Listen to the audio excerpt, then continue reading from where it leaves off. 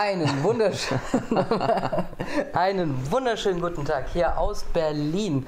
Und mein Gast heute, wie angekündigt und ganz oft auch gewünscht, der Kabarettist Chin Meyer. Ich grüße dich. Hallo Tom. Chin, wir treffen uns manchmal zum Kaffee und unterhalten uns über Ökonomie meistens. Mhm. Und diesmal dachten wir uns, lassen wir die Kamera mitlaufen. Sehr gut.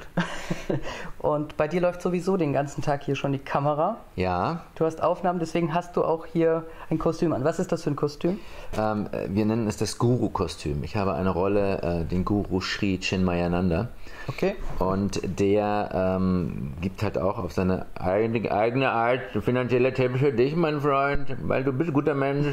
Mein Freund, kauf eine Uhr, ich habe eine günstige Uhr. Ja, also der gibt irgendwie finanzielle Tipps und ähm, ist eine ganz unterhaltsame Figur und das ist halt das Kostüm, was wir heute dafür haben.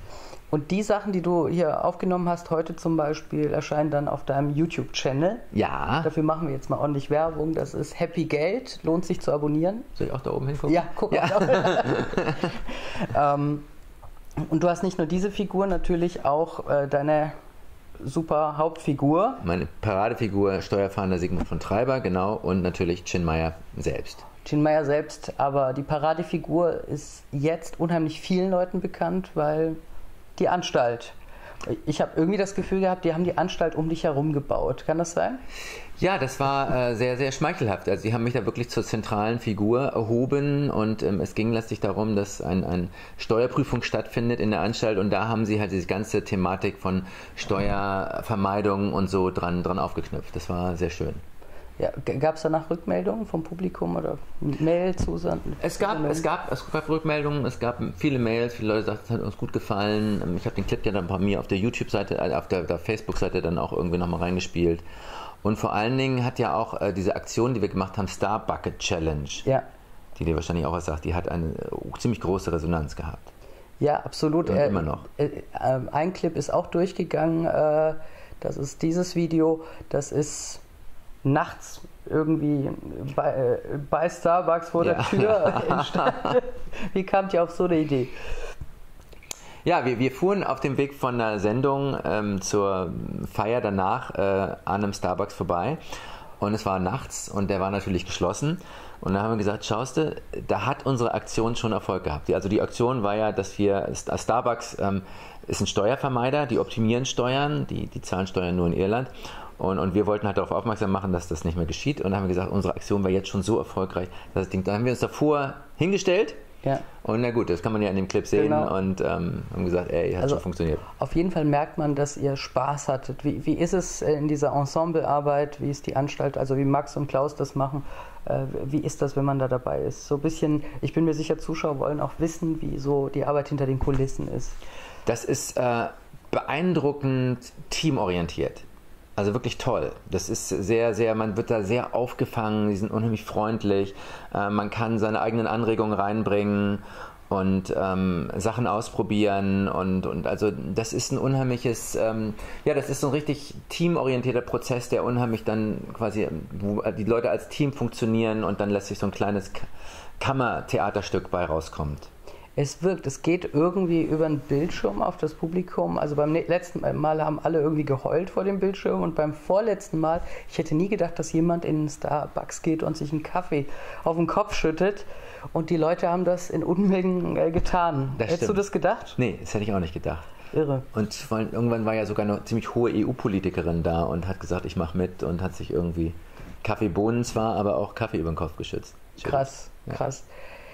Ich habe dich so oft erlebt, ich habe dich noch nie müde erlebt, ich habe dich nie irgendwie ruhig erlebt oder sonst was, sondern du bist immer voller Energie und energiegeladen. Ich will nur wissen, wie du das schaffst. Äh, ich ähm, versuche mich dann zwischendurch zu entspannen. Also es ist schon so, dass ich bin dann auch äh, relativ diszipliniert, dass ich mir am Tag meinetwegen 20 Minuten mich einfach hinlege und mir dann irgendeine, was weiß ich, Beruhigungshypnose einspiele und einfach äh, runterkomme und, und so, so einen kleinen Power-Napping-Geschichte Ja. mache. Ja. Es ist. Ähm, ich habe mich bei dir immer gefragt, wie kommt jemand dazu, Kabarett, Finanzkabarett zu machen? Ähm, wa- was treibt einen dazu? Ähm, das ist letztlich, manchmal passieren ja Dinge einfach, weil sie so komisch passieren. Also Oder meistens passieren Dinge. Ich kenne nur Florian. Schröder, der es werden wollte und es geworden ist. Alle anderen sind irgendwie ins Kabarett gerutscht, aber dann auch noch Finanzkabarett. Was passiert da? Ähm, ich, ich wollte auch immer Kabarettist werden. Also äh, ursprünglich wollte ich Musicalsänger werden. So. Und ähm, habe dann auch Gesangs und so alles gemacht und war auch Musicalsänger, aber ich habe gemerkt, die ganz große Karriere wird es wohl nicht werden. So, und habe ich gedacht, mein Gott, was kann ich machen, was einen längeren Haltbarkeit hat, als, als irgendwie über die Bühne hopsen und, und dabei singen. Und dann habe ich Kabarett. Ich habe schon immer so ein Faible gehabt, Sketche zu schreiben. Also ich hatte jetzt gerade wieder ein Klassentreffen und da haben alle gesagt, Mensch, wir haben doch damals diesen unheimlich lustigen Sketch gemacht, als wir Abi hatten, dass äh, da, ähm, also ich war ein böser Bundeswehrgeneral, der irgendjemanden anschrie, dass er zur Armee gehen sollte, obwohl ich verweigert hatte. Aber irgendwie so, das war, und äh, ich hatte schon immer so Sachen geschrieben und lustige Sachen gemacht und lustige Sachen geliebt und irgendwann habe ich einfach gesagt, ich, ich werde jetzt, ich bin jetzt lustig, hatte Geld gespart, habe ich alles auf eine Karte gesetzt und habe gesagt, bis das Geld alle ist, mache ich jetzt nur noch Comedy und Kabarett. Und dann lief das so einigermaßen und irgendwann kam eine Anfrage von einem Kabaretttheater namens Pomp Duck and Circumstance. Hast du davon mal gehört? Das Nee. ist so ein ähm, Gastronomie-Theaterzelt, da gibt es vier Gänge und zwischendurch eine Show mit Artisten und, und Sängern und Clowns und halt auch einem Kabarettisten an. Der sollte eine böse Rolle sein. Und was gibt es für einen Gastronomen Böseres als Steuern? So, und deshalb war diese böse Rolle der Steuerfahnder und so wurde dieser Steuerfahnder geboren. Sigmund von Treiber, wie ich ihn dann nannte, und ähm, den, den habe ich dann aus. Der war sofort eine Erfolgsfigur in diesem Ensemble. Und dann habe ich den irgendwann rausgenommen und Soloprogramme damit gemacht. Du bist aber auch ähm, in einem früheren Leben mit Finanzen in Berührung gekommen. Äh, was war das? Du spielst an auf den Werbespot von der Deutschen Bank. Ja. Wie, wie, wie?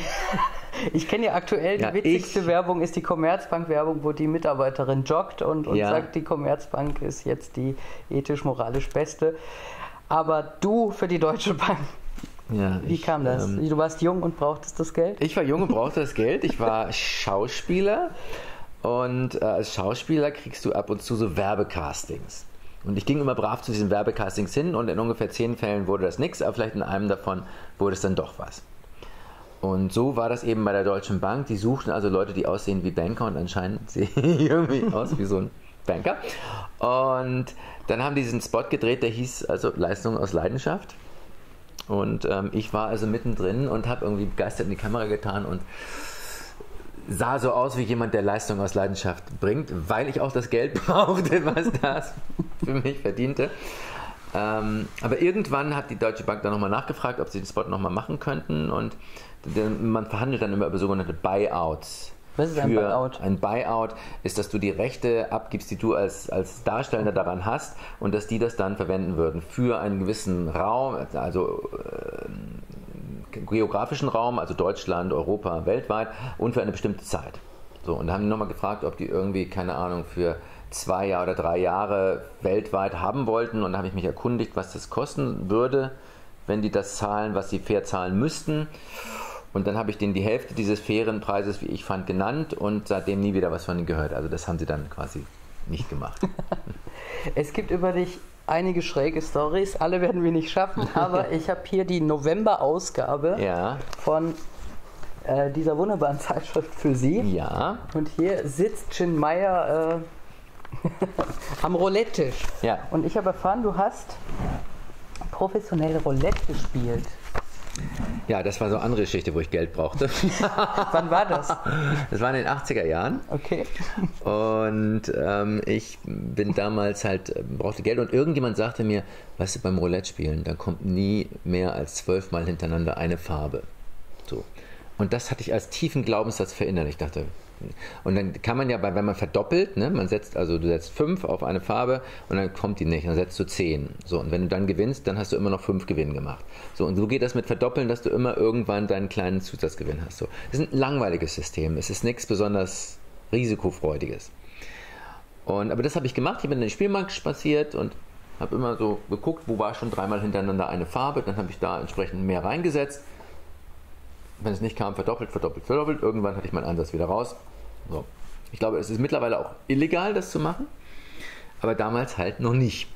Und ich ging dann immer am Abend mit so paar hundert Mark damals nach Hause. So 400, 500 für zwei, drei Stunden Arbeit. Das war in Ordnung in den 80er Jahren. Das, äh, glaube ich. War damals noch richtiges Geld. Und wären heute 5.000, 6.000 Euro. Nein.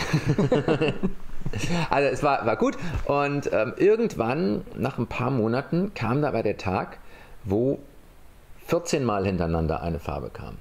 Und ich merkte, dass mein Glaubenssatz mit der Realität nicht wirklich was zu tun hat. So. Und da habe ich dann irgendwie, keine Ahnung, 3000 Mark auf einem Batzen verloren. Aber wusste auch, okay, das funktioniert nicht mehr, das kann ich jetzt stecken. Und hatte immer noch, wenn man das zusammenzählt, was ich da im Laufe der Jahre erspielt hatte, war ich immer noch im Plus. Und das Geld habe ich dann irgendwann gespendet. Wunderbar. Es gibt noch die Geschichte von dir, äh, da hattest du Geld und ähm, warst in, auch in den 80ern im Urlaub. Wir ignorieren das Telefonklingeln jetzt, ne? Das klingelt gar nicht, es rauscht und. ähm, du warst in den 80ern ja. in Italien, richtig? Ja, ja. Und hattest Geld und dann ist es ist eine coole Geschichte, wie ich will. Ja, genau. Ich, ähm, ich sage immer ganz gern, ich habe quasi den, den Nord-Süd- die Transferunion als erster ins Leben gerufen. Schon in den 80ern? Schon in den 80ern. Ich war sehr weitsichtig damals. Ich bin ähm, im Zug in Urlaub gefahren, Nachtzug von München nach Florenz und war in so einem Abteil und auf einmal werde ich geweckt von der Italienerin, die da mit mir ist und die radebrechte dann, dass irgendwelche Leute anscheinend reingegriffen hätten und meine Jacke hing an der Tür und die hätten da irgendwas rausgeholt. Und ich gucke nach, Geld weg, Pass weg. Ich Panik. Raus, ich sagte, welche Richtung sind die weg? Und sie sagt da runter. Und ich dann durch den ganzen Zug geschrien und mein Geld ist weg, Hilfe, Diebe, Hilfe. Also ich kann ja sehr laut sein. Ich habe wirklich Mörderrabatz gemacht und die Leute alle, ah, Ruhe. Und da habe ich Teiltüren aufgerissen, Spanner. Also es war richtig was los in dem Zug. Und irgendwann so am Ende, gegen Ende des Zuges traf ich so zwei Gestalten und die sahen aus wie Diebe. Die waren klein, die waren unrasiert. Die waren Italiener. Und ich war damals nicht wirklich klischeeresistent und habe gesagt, ihr habt mein Geld geklaut, ich will das wieder haben. Und sie sagten, nein, was für Geld? Wir überhaupt nichts Geld. Ich sage, ihr habt mein Geld geklaut, ich will das, ich brauche mein Geld. Und die wurden unruhig, weil ich laut war und schrie und schrieb immer Hilfe, Schaffner, Diebe. Und sagten, hier, du willst Geld, hier, hier hast du ein bisschen Geld, hier ist Geld. Und das waren so Lire-Scheine. Und ich kannte damals den Kurs nicht, 10.000 Lire oder sowas. Ich dachte 10.000 Lire. Wenn die mir das so freiwillig anbieten, das kann nicht so viel sein. so. Und ähm, dann hielt dieser Zug an. Und die sprangen raus aus dem Zug. Und zwar nicht auf der Plattform, auf der Bahnsteigseite, sondern auf gegenüber, auf der Gleisseite und sind, das war ein kleiner Bahnhof, und sind dann weggerannt. Und ich sofort, ohne nachzudenken, hinterher. Und ähm, habe die dann eingeholt, bin dann richtig, äh, war schnell, habe die zur Rede gestellt und die dann so, äh, ja, Geld. Und ich sage, ihr, das ist nicht fair. Ich habe für dieses Geld hart gearbeitet. Ihr nehmt mir das einfach weg. Das ist nicht fair. Ich will mein Geld wieder haben. Und sagten sie, äh, ja, äh, okay. Und gaben mir die Hälfte meines Geldes wieder. 400 Mark. 80er Jahren. Viel Geld. Wären heute 10.000 Euro. Egal. Jedenfalls, äh, so. Und dann dachte ich, Verhandlungen laufen gut. Ich mache noch ein bisschen weiter. Vielleicht kriege ich alles wieder. Und dann sagte einer Zug, Zug. Und ich denke, ja, wenn ich mich jetzt umdrehe zum Zug, dann ist er weg. Ich bin noch nicht doof.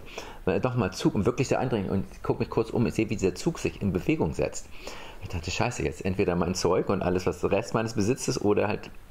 Und dann bin ich da zurückgewieselt und habe versucht, diesen Zug zu kriegen. Hing gerade noch an der Tür, aber dann war der schon so schnell, ich konnte nicht mehr rein. Und blieb da zurück und hatte halt meine 400 Mark, war barfuß in weißen Socken gewesen, die jetzt rot waren, weil ich mir über den ganzen Kieseln die Füße aufgeschnitten oh. hatte brutal. Und ähm, habe dann, ja, letztlich kriegte ich mein Gepäck auch alles zurück und das war auch gut, aber der Urlaub war ein bisschen verratzt, weil ich nur humpeln konnte und irgendwie auch sauer war, dass mein Geld weg war.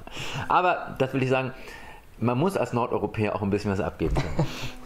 Also ich glaube, es gibt noch unzählige Geschichten, man merkt auch auf der Bühne, dass du unheimlich viele Erfahrungen gemacht hast im Leben. Also es, ist, es macht auch Spaß, da zuzuhören. Wir würden uns nicht zum Kaffee treffen, wenn du nicht auch ein besorgter Mensch wärst, also der, der, der sich auch Gedanken macht um den gesellschaftlichen Zusammenhalt. Und gerade in deinem Bereich äh, Finanzsystem und alles Mögliche, du hast da einen Durchblick. Und wenn man so guckt bei dir, sieht man allerlei Bücher, wo du dich wahrscheinlich krass informierst. Ich komme aber zum Roulette zurück. Wenn man ja. so in, in so einer Spielbank ist, äh, ja. was sind da für Typen? Wer, wer ist Spieler? Spieler, ganz oft sind das Süchtige. Also das sind Leute, die können nicht anders. Die müssen dahin, weil da irgendein Kick ist. Und ähm, das ist häufig auch sehr, was ziemlich freudloses. Also man würde ja denken, ey, die gewinnen dann, die gewinnen viel Geld manchmal, 100, 200.000 auf einen Schlag. Weißt du, die springen auf und sagen, ey, ich hab 200.000 gewonnen, los, Freibier für alle. Irgendwie sowas, ne? Die sind einfach, die bleiben völlig apathisch letztlich schon fast. Also es ist schon auch so ein bisschen eine, eine gedrückte Bestimmung. Mhm. Also es ist einfach sehr konzentriert, sehr gedrückt und, und sehr gedämpft und so irgendwie. Jetzt will ich ja zu, äh, zu einer Parallele. Wenn ja. man sich so die Finanzwelt anguckt und ja. die Jongleure und die Leute, mit, die mit Derivaten handeln oder was auch immer, siehst du Parallelen zwischen diesen Zockern in, in diesem Casino und den Leuten in den Banken? Ja, also ähm, man, kennt es ja von, von Hoeneß. Hoeneß war ja auch letztlich spielsüchtig oder zocksüchtig und, und hat da hoch für bezahlen müssen. Und ähm, ja, ich glaube auch nicht, dass diese, diese Leute, die in den Banken dann mit Milliardenbeträgen zocken und dann auch sehr viel Geld haben, dass die letztlich ähm, glücklicher sind. Im Gegenteil, ja. Also das sind oft auch irgendwie, da stehen, da stehen dann ähm, zerstörte Familien und zerstörte Freundeskreise und also was ich sagen will, Geld macht tatsächlich nicht glücklich. Mhm. Ne? Es gibt einen gewissen, es gibt anscheinend so eine Grenze, ich habe mal gehört, die liegt bei 60.000 Euro im Jahr Jahresverdienst und alles, was da drüber ist, da macht jeder trägt jeder zusätzliche Euro nicht wirklich zum erhöhten Glück bei. Mhm. So. Und ähm, im Gegen was aber zu, zu Zufriedenheit und zu Glück beiträgt, sind Gesellschaften, die funktionieren.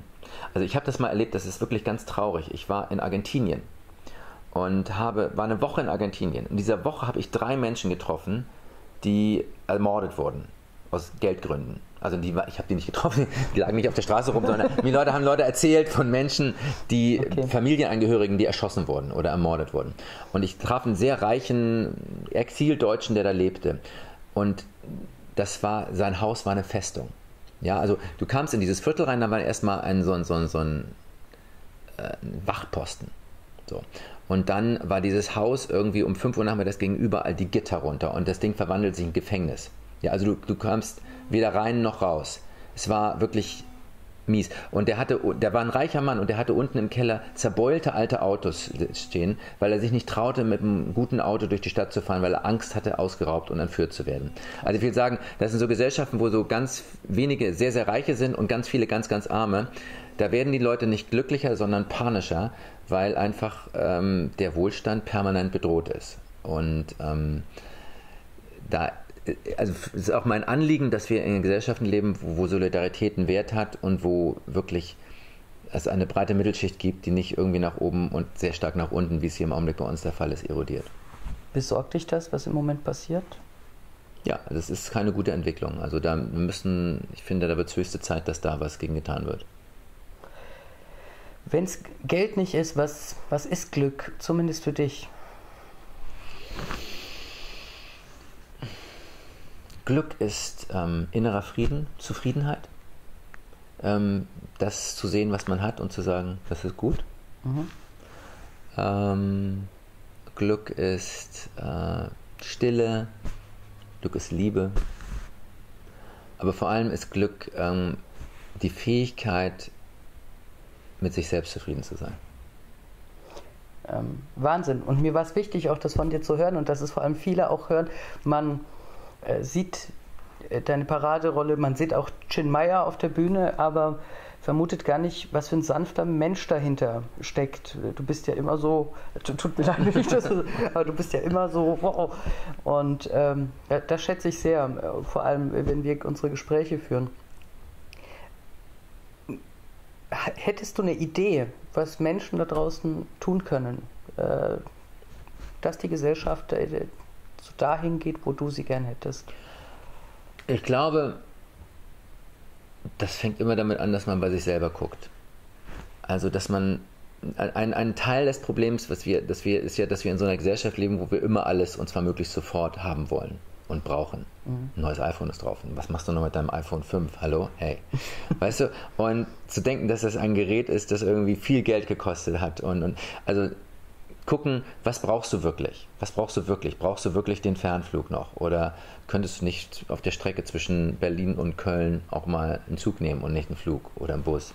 Also wirklich die kleinen also Dinge. Also wirklich die, wirklich die kleinen Dinge, ja. Und, und dann natürlich auch dafür, also auf der anderen Seite irgendwie sich dafür einsetzen, dass halt ähm, äh, die Sozialsysteme erhalten bleiben. Ja, dass, dass ähm, äh, die finanziell Wohlhaberinnen sich entsprechend mehr an der Gesellschaft beteiligen, dass Steuerflucht irgendwie äh, eingedämmt wird, dass, ähm, Ja, also die, diese vielen Maßnahmen, Finanztransaktionssteuer, dass einfach Sachen kommen, die einfach Sinn machen.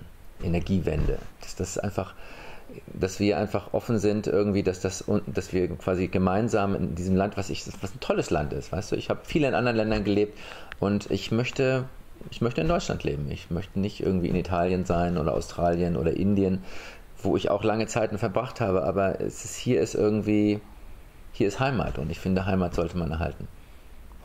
Es sind äh, viele Kabarettfans unter den Zuschauern, die in Deutschland leben und man ja. kann dich in Deutschland erleben. Wie, wie kommt man in deine Vorstellung? Wie kann man dich live erleben? Man kann auf meiner Webseite gucken. Die ist eingeblendet. Genau. Man kann auf der Webseite meines Managements gucken, orsart.de und äh, man kann einfach darauf achten, ich spiele in den gängigen Kleinkunsttheatern, aber am effektivsten ist es wirklich zu gucken, wann spiele ich wo, in der Nähe von wo du wohnst. Ja. Ähm, und äh, wie gesagt, da ist die Seite meines Managements halt so ein Tool, da gibst du einfach deine Postleitzahl ein oder gibst deinen Ort ein und dann ähm, kommt raus, wo ich dann in der Nähe spiele. Super. Ich habe es live erlebt, es ist sehr zu empfehlen. Ähm, ich nenne mal zum Schluss noch drei Begriffe und bitte um kurze Assoziation. Okay. Erster Begriff: Küssen. Sex. okay. ähm, zweiter Begriff: Sehnsucht. Sonne. Dritter Begriff, Wurzeln. Ähm, ich sehe meine Eltern. Also wenn ich an Wurzeln denke, denke ich an meine Eltern und ich denke an Norderstedt, wo ich aufgewachsen bin. Wunderbar. Wunderbares Schlusswort. Ich danke dir sehr für das Gespräch, lieber Chin, und vielleicht bald wieder. Danke. Gerne. Dankeschön. Danke auch euch, meine lieben Abonnenten, und eine schöne Weihnachtszeit. Bis zum nächsten Mal. Super. Super. Okay? Ja, vielen Dank.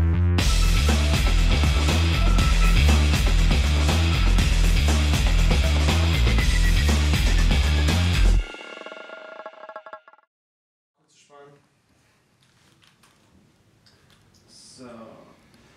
Ton läuft. Kamera läuft auch. Warum die Mauer wieder kommt. Treiber, die erste. Und bitte. Ein teuflischer Plan. Der Bundesfinanzminister plant, regional Steuern einzuführen. Wissen Sie, was das heißt? Reiche Bundesländer können ihre Steuern senken, arme Bundesländer müssen ihre Steuern erhöhen. Ja? Bayern mutiert zur Schweiz Light. Hätten Sie das gedacht? Hätten Sie es jemals gedacht, dass Villingen-Schwenningen ein Steuerparadies wird? Ah,